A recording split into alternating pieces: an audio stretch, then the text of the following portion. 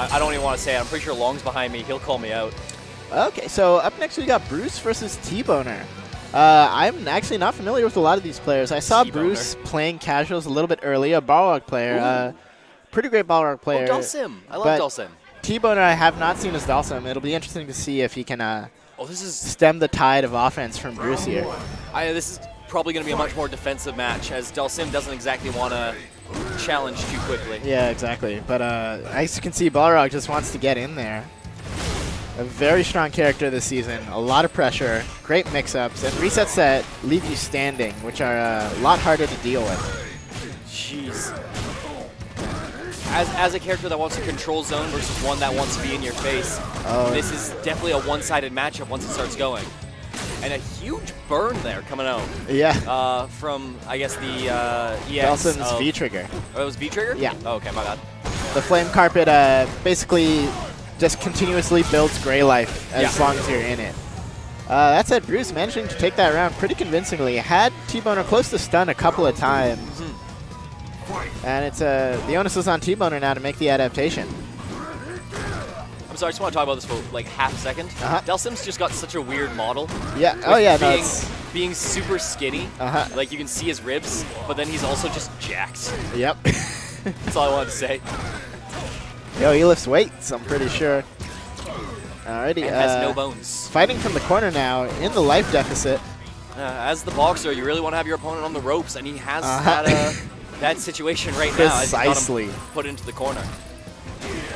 Unfortunately, you can't go for a grapple and ask for the ref to separate you two. Uh-huh. Dhalsim in a terrible state right now, as he's just completely getting now pressured. out of the corner. Can he maintain his distance? Wow. That oh, and that's really work. gonna be it. Bruce Yikes. goes up oh. 1-0. He did find his way out there with the uh, teleport and the flame carpet to try and uh, force T-Boner to, uh, or uh, to force Bruce to move away. Uh-huh. But it just, uh, Yeah, you know, Well, sim- uh, similar to past games in the series, Dhalsim really has a hard time making uh, big comebacks because he's not really a heavy burst damage sort of character. He's he's chip away. yeah, exactly. So when he's in the life deficit, it's a, it's often just very hard for him. This is gonna make no. I'm not even. I was just gonna say uh, it's kind of like Sonic in Uh-huh. Smash. Yeah, yeah, yeah. No, I can see the analogy. Hyper, hyper defensive character Uh-huh. that if you're behind, you don't have the greatest approach options. Yeah, exactly. I mean, you know, you're not exactly very threatening as Dhalsim when you slowly Yeah. twirl into your opponent. Uh huh. Speaking of slowly twirling, does Zangief still have that really creepy thing where his arms spin but his head faces Yep. forward? yeah. I'd like it if they changed that.